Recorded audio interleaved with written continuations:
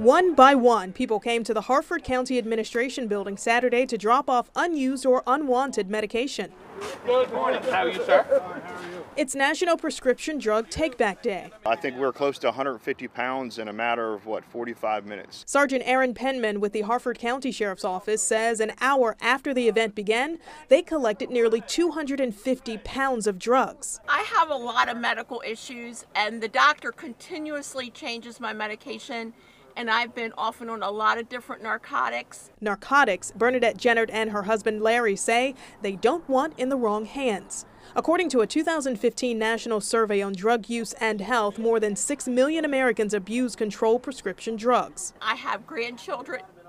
I don't want to leave them around the house because I'm afraid, you know, teenagers, young kids can get into it. Now, there is a new way to get rid of medications. These are new pouches that just came out. The ingredients inside the bag neutralize the drugs in 30 seconds. The process is easy. All you do is take your drugs and put them in this bag. It's new technology to help people easily dispose of their drugs. Another tool to help get drugs off the streets. The main purpose of all law enforcement is to help the community in any way possible.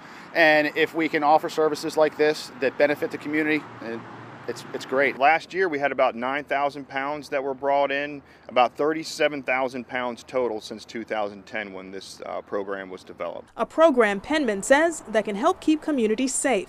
In Harford County, Karen Campbell, WBAL TV 11 News.